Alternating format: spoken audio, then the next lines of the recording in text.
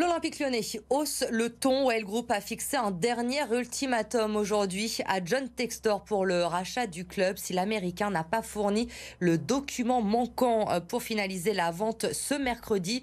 L'OL cherchera de nouveaux repreneurs. Les précisions, Samia Hani. Le feuilleton autour de la vente de l'Olympique lyonnais s'accélère. Dans un communiqué publié ce lundi, l'OL Group sort du silence et annonce que tout devra être bouclé dans les prochaines heures. La direction du club lyonnais déclarait vendredi dernier que la décision sur la suite à donner serait annoncée hier soir à l'issue d'un conseil d'administration. Il aura donc fallu patienter jusqu'à ce lundi et un ultimatum pour que le club sorte du silence et mette la pression sur l'homme d'affaires américain.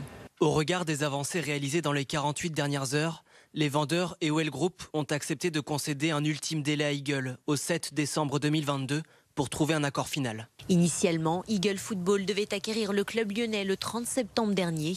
La date a d'abord été reportée au 21 octobre avant d'être de nouveau décalée. Ces dernières semaines, le dossier semblait avoir avancé, mais quelques éléments bloqueraient donc encore la passation de pouvoir. La holding de John Textor a donc jusqu'à ce mercredi pour finaliser le rachat du club.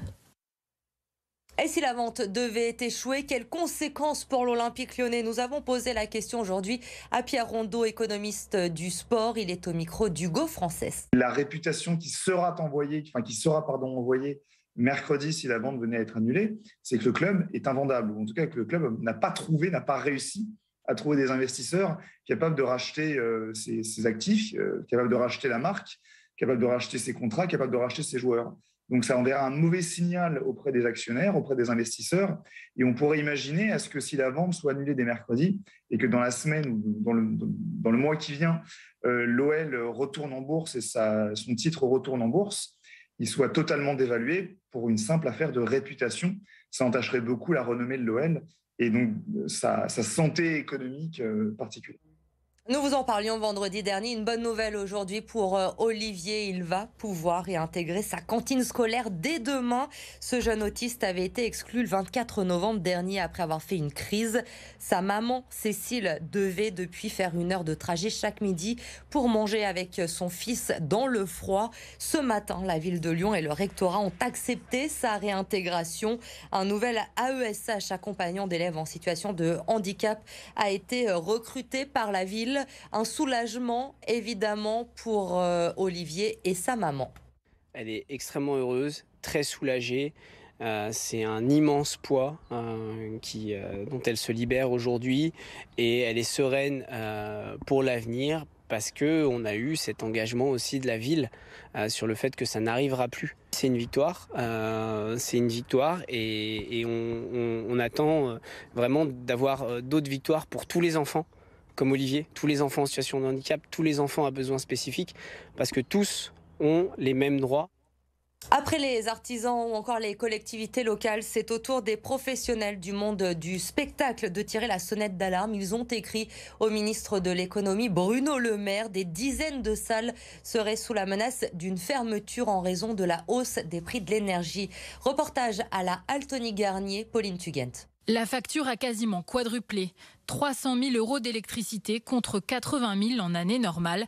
Voilà le coût cette saison pour la halte Garnier. Nous sommes sur une des coursives euh, de la halte Garnier qui donne un peu une, idée des besoins en électricité qu'on peut avoir avec toutes ces alimentations euh, euh, tout au long de la, coursive que l'on va déployer sur les spectacles, mais aussi pour alimenter les salons et les stands, etc.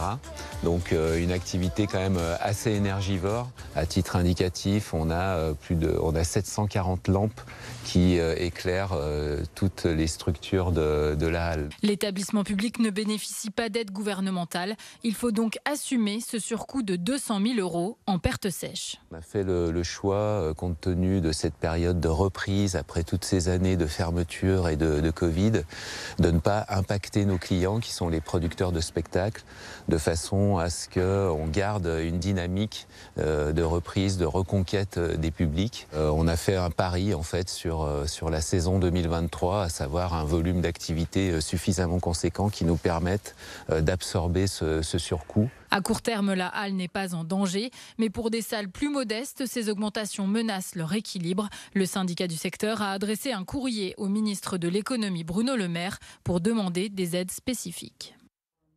À J-3 avant le lancement de la fête des Lumières, le coup d'envoi c'est jeudi. L'an dernier, près de 2 millions de visiteurs avaient déambulé dans les rues de Lyon hein, pendant 4 jours. La sécurité est évidemment renforcée. Près de 1000 policiers et militaires de l'opération Sentinelle seront mobilisés. Le périmètre de la fête sera bouclé une heure avant le début des festivités chaque soir. Écoutez les recommandations du préfet délégué à la sécurité. Il est au micro de Lucine Olorgue. Venez en transport en commun ne venez pas avec euh, beaucoup de sacs et si vous pouvez, venez sans sac. Ça nous évitera peut-être des problèmes de pickpocket ou de vol, de perte de temps au moment de l'entrée dans les, périmètres de sécurité. Euh, portez le masque dans les transports.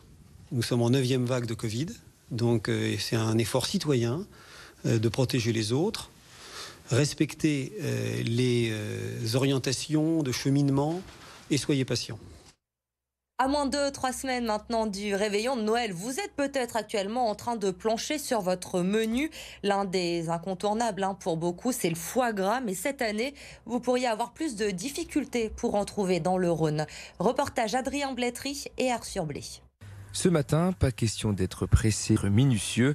Olivier, Céline et Laurent ont le geste juste pour retirer toutes les veines des derniers foie gras de la ferme. Des, fois, il y a des petits hématomes sur les, sur les foies. Donc ça, on l'enlève. Et puis après, on va euh, déveiner le, foie gras. Donc on enlève la veine, les veines qui se trouvent en fait à l'intérieur. On la voit bien là. La ferme des Perrelles a appris en mars qu'elle ne serait pas livrée en canton cette année. À cause de la grippe aviaire, les canards reproducteurs se font rares. En s'associant avec une dizaine de fermiers voisins, Céline et Olivier ont finalement pu être fournis pour les fêtes de fin d'année. Un ouf de soulagement, même si ici, on avait prévu le coup depuis plus de dix ans. Quand on regarde dans l'histoire de l'agriculture, il y a toujours eu des grosses crises qui ont impacté euh, chaque filière. Et c'est vrai que je pense que c'est important de, diversifier pour au moins qu'il y ait une partie de la production qui puisse... Euh, se continuer. Grâce à leur production de charcuterie, notamment, la ferme des Perrelles arrive à conserver tous les salariés actuels et à remplir les rayons de leurs deux boutiques. Des boutiques qui ne vendront pas de foie gras cru cet hiver, ce qui devrait correspondre à une diminution de 30 à 40% du chiffre d'affaires annuel. Des clients pourraient aussi ne plus revenir. La majorité comprennent très bien que euh, pourquoi on ne peut pas faire de foie gras cru cette année. Après, bah, il y en a qui nous disent euh, qu'ils vont aller voir ailleurs. Euh, globalement, je sais très bien comment est la situation à côté et ça sera à peu près pareil. Et pour finir, le foie gras sera plus cher cette année à cause du manque de produits, mais aussi à cause de la hausse des prix de l'énergie. Impossible de produire du foie gras sans gaz ni électricité. Le championnat du monde de pâté croûte, c'était aujourd'hui à la sucrière à Lyon. Les résultats, le nouveau champion du monde. On fait le point tout de suite avec Lauriane Pellao. C'est une victoire japonaise pour la quatrième fois consécutive. Euh, Ryutaro Shiomi remporte le prix du meilleur pâté croûte du monde, suivi de très près, on parle d'un écart de 8 points, de notre candidat lyonnais Jérémy Creuser qui est sur la deuxième marche du podium. Écoutez sa réaction après les résultats. C'est pas une déception parce que c'est beaucoup de travail, euh, ça s'est joué à pas grand chose. Euh, et aujourd'hui à Lyon, ça fait longtemps qu'il n'y avait plus de vice-champion ou de champion ou de podium à Lyon. C'est six mois de travail euh, où on fait des essais, on recommence, on met au point euh, les assaisonnements, euh, les croûtes, la cuisson de la croûte et tout. Donc c'est vrai que ça prend beaucoup de temps et voilà quoi. Donc du coup c'est une belle consécration. Pour rappel, les pâtés croûtes ont été dégustés euh, toute cet après-midi par un jury composé de chefs étoilés, de meilleurs ouvriers de France, de Bocuse d'or également. Ils se sont basés sur plusieurs critères pour noter euh, ces pâtés croûtes, la présentation et le goût, bien sûr, de cette euh, spécialité lyonnaise. Rendez-vous donc l'année prochaine pour savoir si la coupe retourne à la maison.